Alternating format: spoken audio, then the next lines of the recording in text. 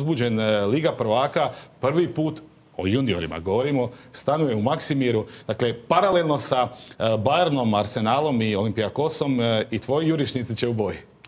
Pa to je sigurno jedna velika čast za mene kao trenera, za, za igrače kao, kao takve i za čitav klub da budemo, da, da što bolje predstavimo Hrvatsku nogometnu školu, Hrvatski nogometni klub, građanski nogometni klub Dinamo u što boljem svjetlu. Imamo sigurno šta za pokazati, ali e, nemojmo odmah, odmah stvarati, stvarati neku euforiju da smo mi e, šampioni, da smo, mi, da smo mi ti koji će osvojiti ligu prvaka.